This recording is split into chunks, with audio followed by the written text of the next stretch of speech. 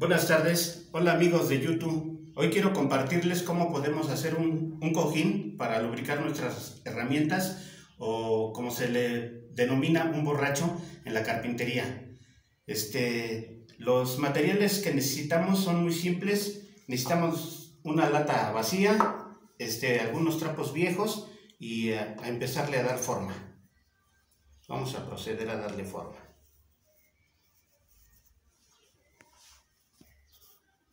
Hay que irle dando forma así de, de bolita para que nos, nos quede perfecto esta cosa.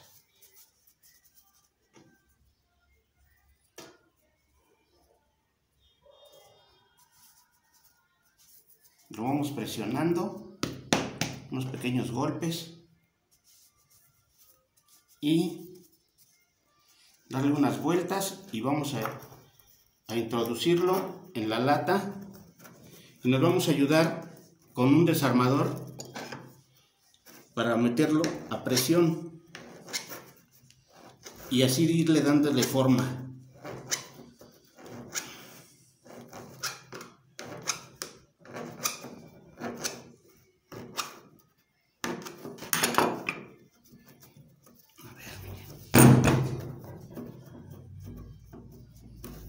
Y así es como nos quedaría nuestro borrachito. Este, quiero sugerirles que siempre le pongan su lubricante antes de usarlo.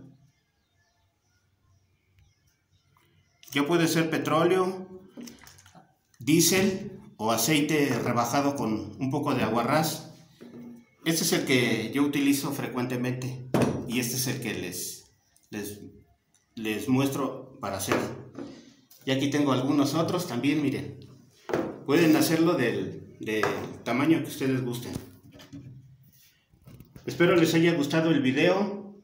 Suscríbanse a mi canal y denle like. Buenas tardes.